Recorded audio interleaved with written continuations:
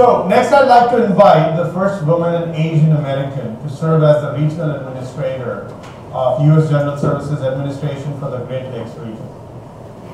She championed the regional efforts to meet presidential executive order, federal government fiscal and carbon footprint, including shrinking the region's office by 24% and saving over a million dollars. Please welcome Honorable Dr. Ann P. Kalayil. Uh, thank you so much. I, I really want to congratulate Poonam uh, for putting this together because, you know, analytics is really big these days, right? We have a lot of big data that we're collecting, and yet we were not really sure what to do with it. Um, and that's where you all actually play a, a big role in it. Um, so I'm Ann Kalayil. How many of you heard of GSA, General Services Administration? Oh, good, okay. Um, and a lot of hands usually go up when I say that. And so you, sir, when you sit in front of the class, this is what happens. So Ivan, tell me what GSA is about. GSA is um, basically puts together a lot of grants and other opportunities for businesses and funds for the federal government in most of the uh, operation. Right? Okay, all right, almost. Yeah, as you probably all know, I used to teach. Um, so this this is this is my uh, mode of uh, operations. What we do is we we really do real estate, uh, acquisitions and technology and fleet, and we do disposal for the federal government. Right. Um, I have a region here in the Great Lakes region. Uh, we manage about 35.8 million square feet of real estate. Um, and we have about $4 billion of uh, sales that we, you know, that government, con government contracts are set up so that agencies can buy through them. So, what am I doing here conference uh, or a gathering here on big data? Well, um, we have a huge role. Uh, we work very closely with DJ Patil, who's the, uh, the uh, Chief Data Officer for the federal government, who was actually appointed uh, earlier this year. So the first time that federal government has a uh, data officer, in other words, someone who's responsible for analytics within the federal government.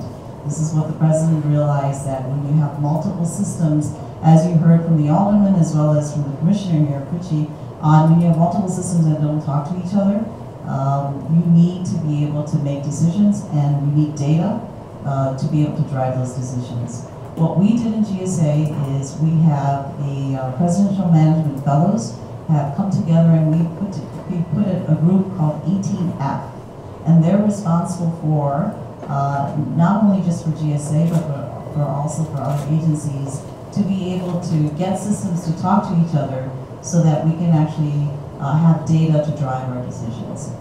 In GSA, what we've done is we've created a platform that's called Data to um, decisions, D2D, and we're using that platform to be able to um, use, you know, to, to, look at data, to be able to use analytics. We use software such as um, Tableau, we use MicroStrategy, STI, and JasperSoft. These are our, actually in our D2D um, analytical tools. So how do we do this? How do, why do we use this?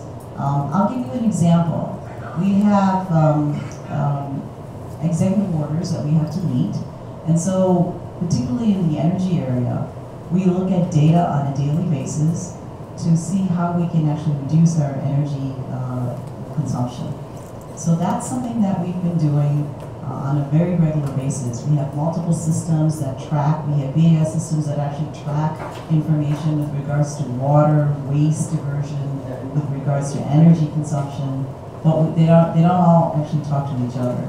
So this is where our data is actually useful so that we can go ahead and tweak. We have VA system data that we look at. Uh, property managers are no longer the property managers that you see uh, maybe a, a, decade ago. They're, they're actually uh, looking at data and fine-tuning HVAC systems as well as um, uh, other boilers and chillers and all that. So I just wanted to say that, you know, in the federal government, we are very active in this area and we are um, we're in need of people like yourselves to be able to help us to do you know to uh, help us in analytics we have when it comes to HR when it comes to uh, energy you know the area is so wide that um, your your skill set would be useful and in order to do business with the federal government you need to look at fedbizopps.gov, or you actually need to look at uh, going to go on our schedules. But you know, you can reach out to Poonam, and she can put you in touch with me, and I'd be more than happy uh, to sort of help you all figure out how to do uh, work with the federal government. Think about it. It's a it's a huge market. Uh, but you need to be prepared to be able to do business with the federal government because local government is a little different than federal government. I realize that. It's my first time working in government, period. Uh, but I think once you start, once you get to understand how you can do business with the government, federal government, uh, I think it's well worth it. We need your skills. Um, so one last tip, and that is take a look at challenge.gov. We, um, we post, sort of agencies post opportunities there, so it's not you know, it's sort of like quick on how to help us solve things. So challenge.gov and dataanalytics.gsa.gov is a, is a website that's useful for us to see how we can actually better serve uh, the American people. It gives us all our website is done. So thank you very much. I hope you all have a, I know this is going to be a fantastic event and I know that you're all going to be uh, really uh, happy that you came here because this is a platform where you can actually connect to each other and to be able to um, uh, get work done in this in this area. So thank you. Take a better picture of the car.